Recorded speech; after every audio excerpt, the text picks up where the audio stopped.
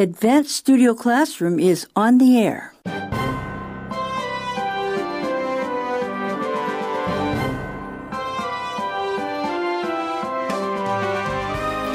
Welcome to our class today. We have a very interesting lesson, so stay tuned as we look after our body and soul.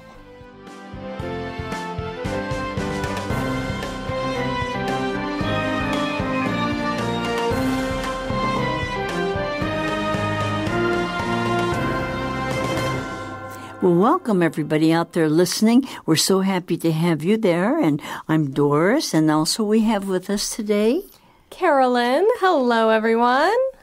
Hi, everyone, and this is Jack speaking. So glad I could be with you today. And you know what? It's the end of August already. Did you know that? It's hard to believe. And we're going to talk about looking after our body and soul. In the summer, we usually like to go swimming and do a lot of fun things, don't we? Yeah, yeah, and I think it's been a relaxing year so far. I mean, uh, it's interesting that we're talking about uh, like some of these topics now in the summertime. Uh, these But are you know, some people yeah. still have to go to work, Jack. Yeah, that's true. I You mean, we have to, but I don't know. I guess maybe it doesn't feel too much like work around here. Well, that's right, especially in the summer. Well, our article on today is on page 38, and what's it about? Well, it's about looking after your body and soul. And specifically, we're going to be looking at how laughter and chiropractic care can increase your work productivity. I like the laughter part. Do you like to have jokes and fun? And do you like to do that? Absolutely. I like to laugh. I, I like to laugh even when there aren't jokes. So, I mean, I, Right. I definitely agree. But what about the chiropractic care? We're going to have to get into that, right? Sure, I think that chiropractic care is important. I I actually like going to the chiropractor. Wow. well, that's good. Well, you mm-hmm. like laughter too. though. I do like laughter. Yeah. But according to the research, it says here on page 38, but if you do like laughter or just relaxing, it's going to lower your stress. And what else? Increase productivity at work. Oh boy, Wow. that's good. In other words, you'll get more done, right? Mm-hmm. That's funny because usually I think about if I'm laughing, then I'm not really getting things done. But they're saying that the more that you laugh, you might actually get more done. Right? I don't know if, about the teachers if they think they should laugh in school because I, I don't think we were allowed to laugh when we were in school very much, not during Oh. class. Too serious. Yeah. Well, we have fun in this class. Yeah. That's right. Studio classroom is different. We have But fun. anyway, we do like to be productive. We like to get a lot done, and we have to find out how we can do that. So that's what we're going to be introducing today. And the very first paragraph tells us about that. So let's just read the beginning paragraph through line 12.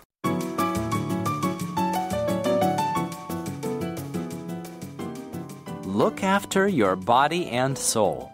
How laughter and chiropractic care can increase your work productivity.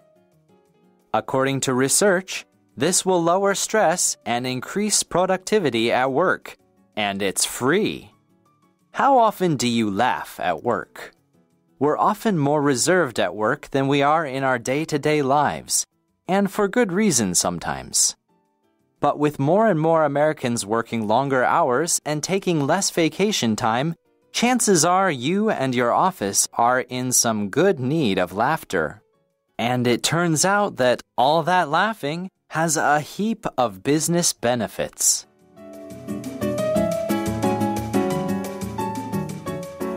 Well, do you agree with that, Carolyn, or not? I think it's a very interesting idea, and I do think that laughter can really help.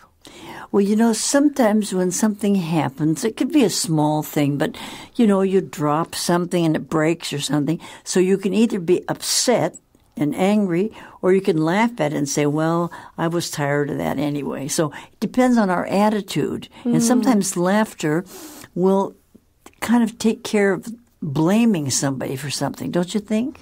Hmm, yeah, our attitude at work is really important. And if we kind of come in with a negative attitude, then we're going to have a bad day. That's true.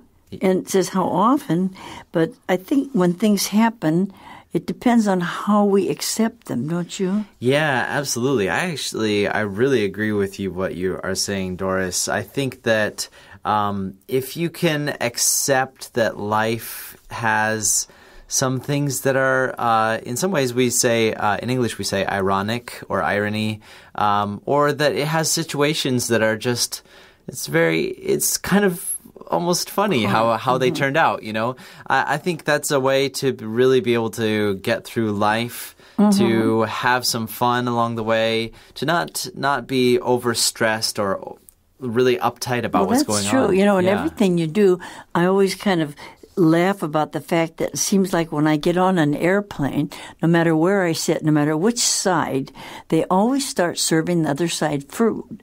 You know, they start serving the food, and I'm the very last one. They say, "Well, we don't have that one left anymore. We've used it all." Oh, and I said, "Well, maybe that's because I don't want to get too fat anyway." So, you know, so you can laugh about it instead of mm. saying this is a terrible airline or mm. something. So I think if you can kind of take things light and laugh at them, you can say, "Well, I guess I'm last because I I'm, I shouldn't eat too much." Or something like that, you know. So it's kind of fun if you can make a situation more fun. Don't you think? Exactly, exactly. Like, uh, for instance, um, we have a, a kind of saying in English called Murphy's Law, which basically says that uh, if something bad can happen, it will happen. And they, they say things like, for instance, if you uh, spread a piece of bread uh, with butter or something, that it, if you drop it, it will fall with that side downward, right? And so sometimes, like, if that happens to me, like maybe I drop something and it does fall that way, it, I just have to laugh at it. You know, yeah, it's like instead of well, just being upset. yeah, you know what? It's it's funny. It actually does work that way sometimes, and yeah, it's it's Well, best of course, to just it depends on yeah. where you work too. But you know, sometimes you're more reserved at work because you know it's not like you're at home and, and you want people think that you, you know, don't think your job's important or something. Right. People do tend to be more reserved at the office, which means that they aren't sharing a lot of personal things. They're not really talking to their coworkers about their home life, that No. sort of thing. But that's probably because they want to come across as being more professional. Right? They don't want people to know all of their personal That's information Yeah. because they want to have a professional working environment. And sometimes that makes us a little bit too serious. Well, and besides, it's okay to laugh with people, but you don't laugh at people. That's quite Yeah. different, isn't it? Mm. Very mm. important difference. Don't laugh at somebody when something Yeah. happens, but laugh together with them. That's quite different, isn't it? like basically so it's great if you can laugh more but it's also it is important like when and what you're laughing at you know it's it, this article is not trying to say that we should just take everything as a joke No, you know there are some true. moments for sure to you know if you're in a project that requires a real uh, hard work or someone else is going through a difficult time obviously you don't want to be laughing at other people No. it, it's it's about having a, a lighter feel about some of the more challenging parts of our own jobs, I think. But like that one sentence says in line 11, it turns out that all the laughing has a heap, a lot of business benefits. Hmm. And you don't think about laughing have business benefits. So let's see what else they have to say about this because there is some information on there and we call it compelling data, which, what does that mean, compelling data? Well, it means that this there's information, this data or data, and it's compelling. That means that it's providing some very interesting evidence. Well, let's read that. We're on page 38 in the second part of the lesson here today, compelling data. Let's read that. Sounds good.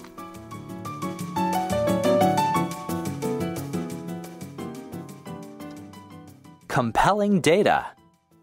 According to research from institutions like Wharton, MIT, and London Business School, laughter relieves stress and boredom, boosts engagement and well being, and spurs not only creativity and collaboration, but also analytic precision and productivity.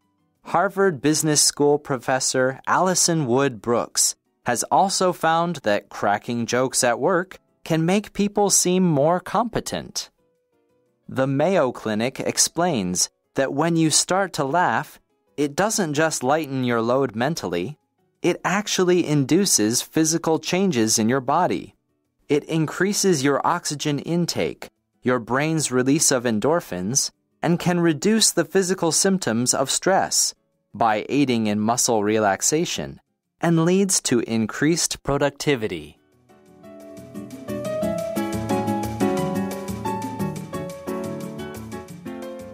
Now, we might all agree with this, but what surprised me was that this research came from these schools that are known for their business, like Wharton is a business school, mm-hmm. and MIT, Massachusetts Institute of Technology, and London Business School. These are places you would think they would not think that laughter was thing.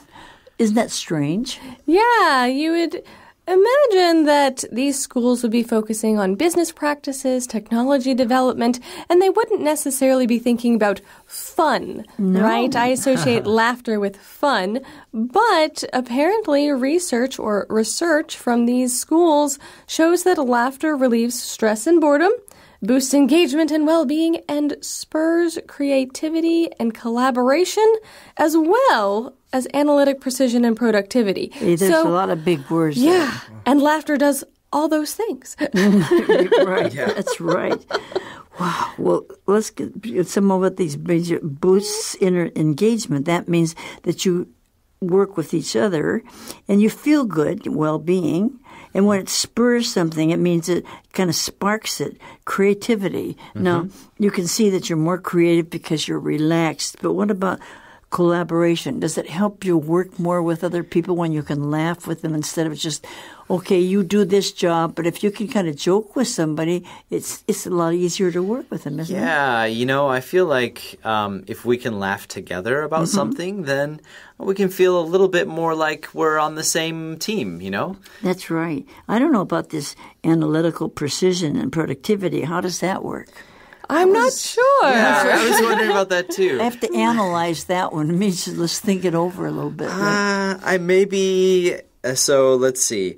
i am guessing just for productivity, if you're happier and you just feel more relaxed, you might be able to just get more done. Get more done, yeah, yeah. possibly. Mm-hmm. And sure. maybe if you're feeling happier, then you're able to focus better, right? Mm-hmm. So that would help with the analytic precision.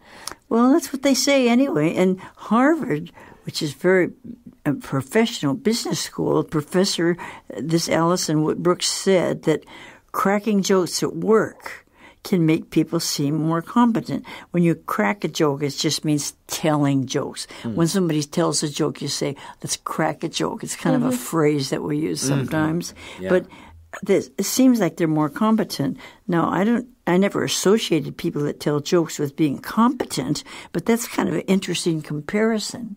It is. And I wonder if it has to do with if you're able to tell a joke, then you might seem clever. And if you're clever, then you should be able to Connect do things. well at yeah, things, right? Mm-hmm. mm-hmm. Well, so this is kind of a different idea. You know, I haven't heard anybody write about this before. But what about the Mayo Clinic? What do they say?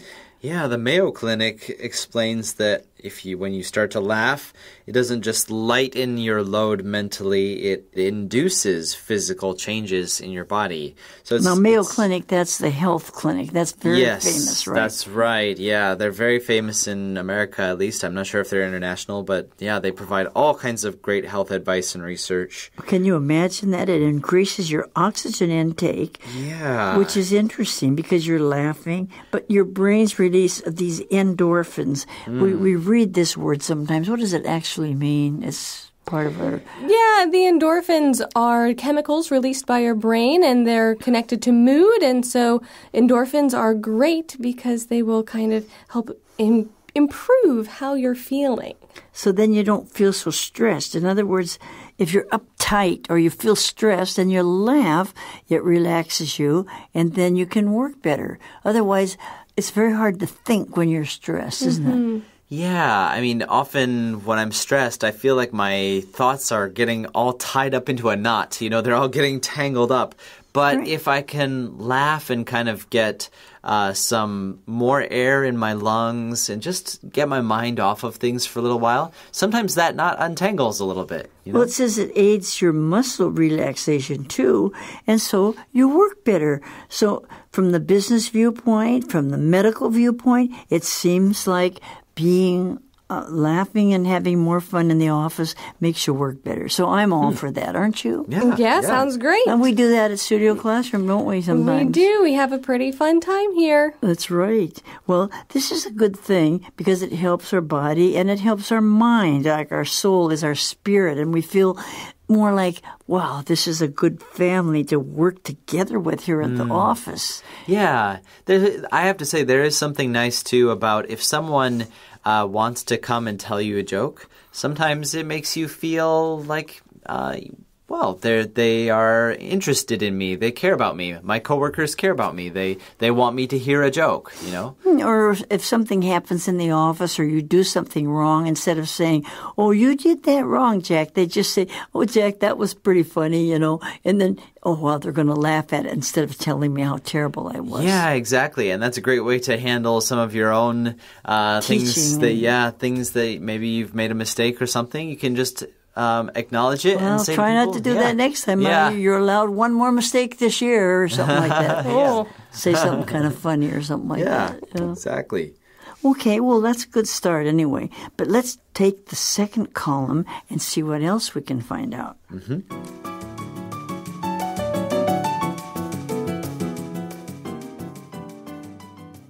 Essential care. Stress management among employees and employers is more crucial than ever. When you're stressed, you're at a greater risk for illness, anxiety, insomnia, difficulty concentrating, and even forgetfulness. It seems like laughter really is the best medicine, and it's free. More tips for easing stress and increasing productivity. Give your mind a break. If you practice silencing your thoughts, you'll give your brain a much needed break. This means your focus will be crystal clear when you get back to work. Ditch the conference room. The next time you have a meeting with colleagues, take it outside. Stroll through a local park. Go around the block. Walk around the building. This exercise will get you out of your seat for a well deserved leg stretch. Plus, it boosts creativity as new environments and views inspire new perspectives and thought processes.